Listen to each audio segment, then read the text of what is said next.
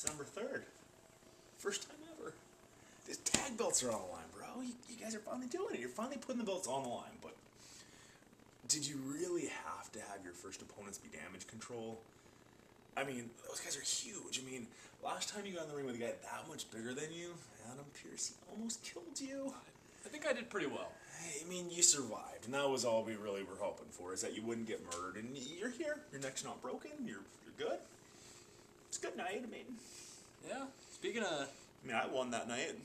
well, so, some some would say you did win. Some might say No, that- everybody would say when the record book says I there- won. Well, record book, but there was a Dude, little. come on. No, there was nothing. I had my I had my hand on the rope. I won. I, we're good. But you know, since you decided to throw that clip up, you know, a couple of weeks ago, Yeah.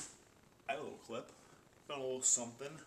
What are you What are you talking about? Midget giving you the stink face. that, that oh, that never happened. Yeah, that happened. No. And you know how I know it happened? Because my good buddy Pat Tanaka came over to my house and he brought me the footage. And now I'm gonna show it for all of let's, you. let's not let's not- Roll it no, right let's not- now. don't watch that. Just pause the video.